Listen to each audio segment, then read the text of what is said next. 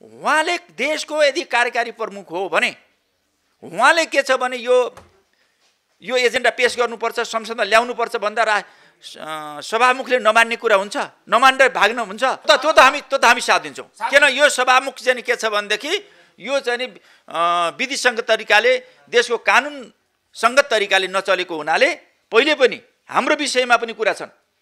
हामी हामी निश्चित रूपमा आफ्नो निर्णय गऱ्यौँ।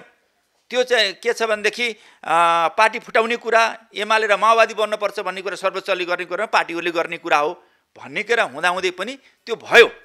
भइसकेपछि हामीले आफ्नो स्वविवेक प्रयोग गऱ्यौँ तर चाहिँ हामीलाई थाहा थियो कि चाहिँ ठिकै छ स्वविवेक भन्दाखेरि यो देशमा चाहिँ कानुनी राज छैन अलिकता अराजकता छ अलिक चाहिँ कानुनको दुरुपयोग भइरहेछ अझै पनि संविधानको प्रभावकारी कार्यान्वयन भइरहेको छैन भनेर हामीले मान्दियौँ र हामीले मन्त्री या सांसद सब त्याग्न तयार भयौँ तर विचारलाई पार्टीलाई त्याग्न तयार भएनौँ। त्यो रिक्स ल्याउँ तर चाहिँ हामीलाई पार्टी उसले चाहिँ सर्वोच्चले चिन्दैन भन्यो। चिन्दिनँ भने कसरी चिन्दैन हामीले मुद्दा पनि हाल्यौँ।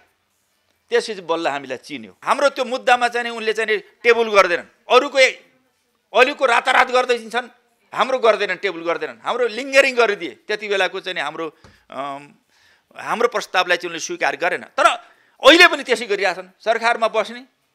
यो महागठबन्धनवाला यो मैले भने लोही पापीहरूको एउटा झुन्ड होइन? जस्तो अहिलेको अर्थ मैले मैले मैले भन्दैछु त्यही।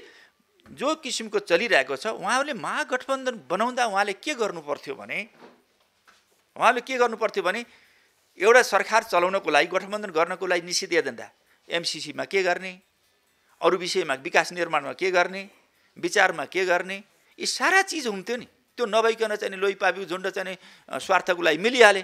अहिले आएर भण्डाफोर भइरहेछ। अहिले खाएर कुरो मिलिएको छैन। अब त्यो त सरकारले आफ्नो पोजिसन क्लियर गर्नु पर्यो। हामीले भनेर त अहिले पास हुँदैन। सरकारसित बहुमत छ। चाहे त्यो एमसिसी पास गराउनुहोस् चाहे चाहिँ फेल गराउनुहोस् हामीले त एमसिसी पास गर्न फेल हामीसित अहिले त चाहिँ बहुमत छैन।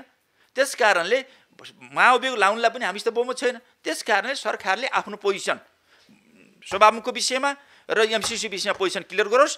त्यसपछि हामीले आफ्ना अनि के गर्ने हामीले डिसिसन गर्छौँ पार्टीमा डिसिसन गर्छौँ। हटाउँदा राम्रो हुन्छ। यस्तो सभामुखको काम छैन। त्यो त हामी त्यसमा त स्पष्ट छ।